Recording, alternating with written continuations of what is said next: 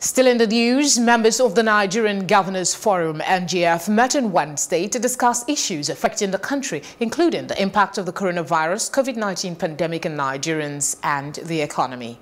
At a meeting which held virtually and was presided over by the NGF chairman and Ekiti State Governor Kayode Fayemi, the governors resolved to approve the work of the NGF subcommittee interfacing with the Presidential Task Force PTF and COVID-19 to consolidate measures to gradually open the formal and informal sectors of the economy.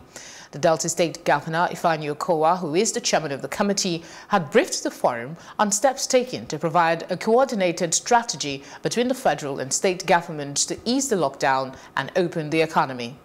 His counterpart in Kaduna State, Governor Nasir El-Rufai, also provided an update on the implementation of the final report of the NEC Ad Hoc Committee on COVID-19, containing the outbreak and responding to the adverse economic effects, which was presented by the to the Vice President and Chairman of the committee, Professor Yemi Osinbajo, in March.